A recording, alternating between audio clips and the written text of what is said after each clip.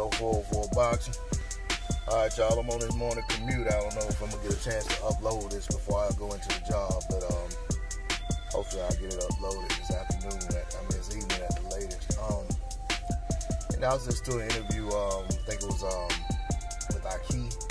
Shout out to him and the work he puts in on his channel with David Benavidez. And uh, David Benavidez said a lot of stuff pertaining to um, the interview was pretty much pertaining to whether or not he wants the Charlo fight and if he's pushing the fight. And um, if he's going to push for the fight. And two takeaways I want to talk about. It don't really have a whole lot to do with Charlo, but just with um, David Benavidez's mentality and some truths that I feel like he said that a lot of fighters aren't aren't saying. The first one was he said that you know he's just a fighter. He doesn't send offers, but he's talked to his people and told them that should his fight go well, his upcoming fight in March, and he expects it to go well, that he's already told them to try to make the Charlo fight for him. And um, you know, he said his hands, you know, all he can do is push for the fight, but he can't do anything to actually make the fight happen.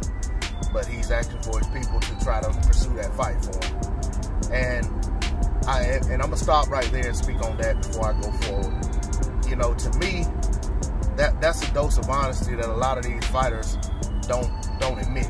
You know, a lot of these fighters walk around here trying to act like they got more power than what they really have, and they're talking about you know uh, they're sending out offers or give you, know, you take you take 50 percent. I mean, you take 60 40 percent. I'll take 60 and stuff like that. When in actuality, it hadn't even gotten far enough for that to even be the case. And if the other fighter did say, okay, let's do it, that's all. That's as far as we are. We go. It, it pretty much would be, okay, well, he said he'll take it. Now back to the people behind the scenes to see if they can make the fight happen. And the reality is that's putting the cart before the horse. These fighters are not in a position, I've spoken about this in another video, that these fighters are not in a position to throw offers out there to get fights made. And David Benavidez is basically saying that. And I know that somebody listening to this video is going to say, well, that's David Benavidez. He's not in that kind of position. But I'm here to tell you that 99.9% of these fighters are not in that kind of position. Um, and, and I don't care how big y'all think they are and how much clout and power and respect y'all think they command in the sport. These guys are not the shot callers. They do not push things um, along the way when it comes to the sport of boxing. These networks and these promoters and even sometimes these sanctioning bodies um, hold things up more so than they do move things along. So I'm glad that Benavidez said that, and I hope some of these fans take heed and stop just taking some of the things that these fighters say just because it, it makes for a good soundbite as gospel. Because the reality is these fighters do not do not they do not command that type of power. Not when it comes to the business side of boxing. And the fact is that all most of these fighters try to be businessmen, but the reality is they're not in a position a, a power position when it comes to the business. All right. The other thing he said, he spoke about losses. He said a lot of these fighters take take these take it too serious.